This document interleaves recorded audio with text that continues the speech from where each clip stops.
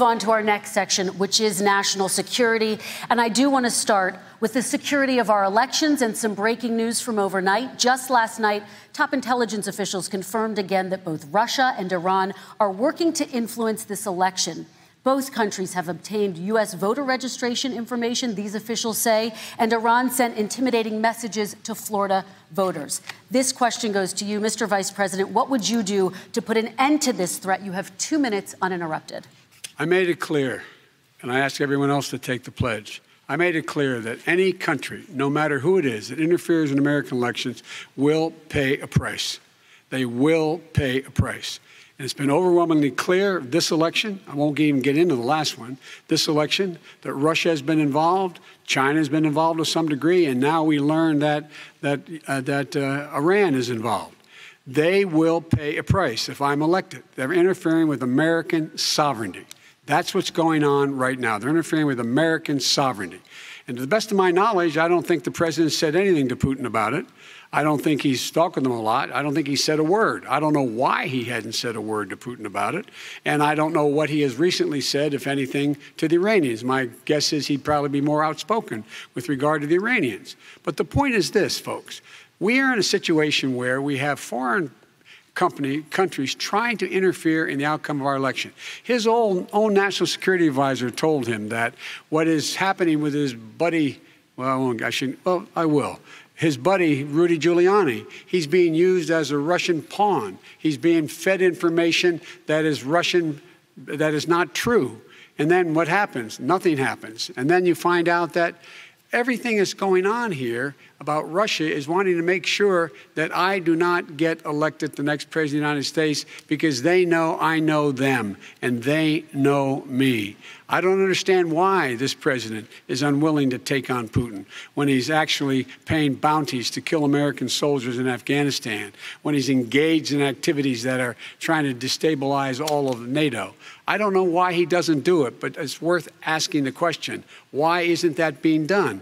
Any country that interferes with us will, in fact, pay a price because they're affecting our sovereignty. President Trump same question to you. To let me let me ask the yes. question. You're going to have two minutes to respond. For two elections in a row now, there has been substantial interference from foreign adversaries. What would you do in your next term to put an end to this? Two minutes uninterrupted. Well, let me respond to the first part as Joe answered. Joe got three and a half million dollars from Russia, and it came through Putin because he was very friendly with the former mayor of Moscow, and it was the mayor of Moscow's wife. And you got three and a half million dollars. Your family got three and a half million dollars, and you know, someday you're going to have to explain why did you get three and a half. I never got any money from Russia. I don't get money from Russia. Now, about your thing last night, I knew all about that, and through John, who is John Ratcliffe, who is fantastic DNI, he said the one thing that's common to both of them, they both want you to lose because there has been nobody tougher to Russia. With between the sanctions, nobody tougher than me on Russia. Between the sanctions, between all of what I've done with NATO, you know, I've got the NATO countries to put up an extra 130 billion, going to 420 billion dollars a year. That's to guard against Russia. I sold, while he was selling pillows and sheets, I sold tank busters to Ukraine. There has been nobody tougher on Russia than Donald Trump. And I'll tell you, they were so bad. They took over the, the submarine port. You remember that very well. During your term, during you and Barack Obama, they took over a big part of what should have been Ukraine. You handed it to them, but you were getting a lot of money from Russia. They were paying you a lot of money, and they probably still are. But now, with what came out today, it's even worse all of the emails, the emails, the horrible emails of the kind of money that you were raking in, you and your family. And Joe, you were vice president when some of this was happening, and it should have never happened. And I think you owe an explanation to the American people. Why is it? Somebody just had a news conference a little while ago who was essentially supposed to work with you and your family, but what he said was damning. And regardless of me, I think you have to clean it up and talk to the American people. Maybe you can do it right now. Vice President Biden, you may respond. And then I do I, want to follow up on the election security. I have not taken a penny from any foreign source ever in my life. We learned that this president paid 50 times the tax in China, has a secret bank account with China, does business in China, and in fact is talking about me taking money. I have not taken a single penny from any country whatsoever, ever. Number one. Number two, this is a president, I have released all of my tax returns. 22 years. Go look at them. 22 years of my tax return. You have not released a single solitary year of your tax return. What are you hiding? Why are you unwilling? The foreign countries are paying you a lot. Russia's paying you a lot. China's paying you a lot. And your hotels and all your businesses all around the country, all around the world. And China's building a new road to a new ga- a, a golf course you have overseas. So What's going on here? Why don't release your tax return or stop talking about corruption? President Trump, your response. First of all, I called my accountants under audit. I'm going to release them as soon as we can. I want to do it, and it'll show how successful, how great this company is. But much more importantly than that, people were saying $750. I asked them a week ago, I said, What did I pay? They said, Sir, you prepaid tens of millions of dollars. I prepaid my tax tens over the last number of years, tens of millions of dollars I prepaid because at some point they think it's an estimate. They think I may have to pay tax. So I already prepaid it. Nobody told me that. Did your account Nobody tell told you, you, you that. Excuse them? me. And it wasn't written whenever they write this. They keep talking about $750, which I think is a filing fee. But let me just tell you, I prepaid millions and millions of dollars in taxes. Number one. Number two, I don't make money from China. You do. I don't make money from Ukraine. You do. I don't make money from Russia. You made $3.5 million, Joe, and your son gave you. They even have a statement that we have to give 10% to the big man. You're the big man, I think. I don't know, maybe you're not, but you're the big man, I think.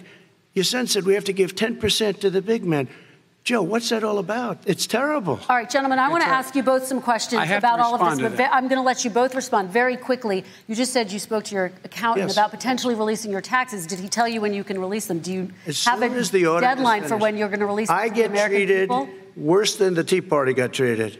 Because I have a lot have of people in there, deep down in the IRS, they treat me horribly. We made a deal, it was all settled until I decide to run for president. I get treated very badly by the IRS, very unfairly. But we had a deal all done. As soon as we're completed with the deal, I want to release it. But I have paid millions and millions of dollars, and I, it's worse than paying. I paid in advance. It's called prepaying your taxes. Okay. I paid in advance. I want to ask you both about questions regarding your potential foreign entanglements and questions that have been raised to give you both a chance Some to talk about this more broadly. Respond very quickly, and then I'll get to my question. Why did he, he's been saying this for four years? Show us. Just show us. Stop playing around. You've been saying for four Everybody years you're going to reduce your taxes. Nobody knows it, Mr. President. What they do okay. know is you're not paying your taxes or you're paying taxes that are so low. When last time he said what he paid, he said, I only pay that little because I'm smart. I know how to game the system. Come on. Come on, folks. So, President Trump, and then I want to get to two questions to both of you sure. on this. I was put through a phony witch hunt for three years. It started before I even got elected. They spied on my campaign. No president should ever have to go through what I went through. Let me just say this Mueller and 18 angry Democrats and FBI agents all over the place spent $48 million. They went through everything I had, including my tax returns, and they found absolutely no collusion and nothing wrong.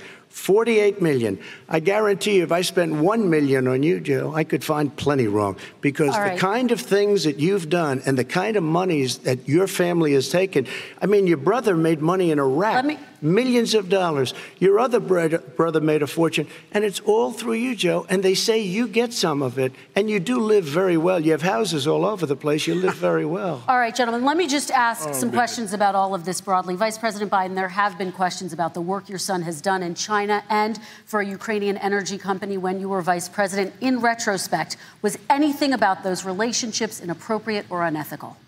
Nothing was unethical. Here's what the deal with regard to Ukraine, we had this whole question about whether or not, because he was on the board, I later learned of a Burisma, a company, that somehow I had done something wrong. Yet every single solitary person, when he was going through his impeachment, testifying under oath who worked for him, said, I did my job impeccably. I carried out U.S. policy. Not one single solitary thing was out of line. Not a single thing. Number one. Number two, the guy who got in trouble in Ukraine was this guy trying to bribe the Ukrainian government to say something negative about me, which they would not do and did not do because it never, ever, ever happened. My son has not made money in terms of this thing about uh, what are you talking about? China. I have not had a, the only guy made money from China is this guy. He's the only one. Nobody else has made money from China. Never President to deal, Trump, deal with let me, let me By ask way, my question to you. But could I just one one thing? Very quickly. His son didn't have a job for a long time. Was sadly no longer in the military service. I won't get into that. And he didn't have a job. As soon as he became vice president, Burisma, not the best loc- not the best reputation in the world. I hear they paid him 183,000 a month. Listen to this. 183, and they gave him a $3 million upfront payment. All right. And he had no I- energy I'm going to let the. Vice President That's respond to that quickly, and 100% then I need to get to a question to you. Very No quickly, Mr. basis for that. Everybody investigated that. No one said anything he did was wrong in Ukraine.